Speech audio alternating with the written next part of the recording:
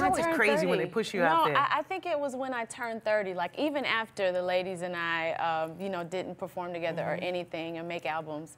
I was still nervous, you know right. what I mean? And even up until 27, 28 years right. old, and my best friend was like, you know what, this is your time. Like, yeah. you have to walk into what is yours and not be afraid of that. And so many times we're so scared of what's on the other side of the door, we mm -hmm. can't see it.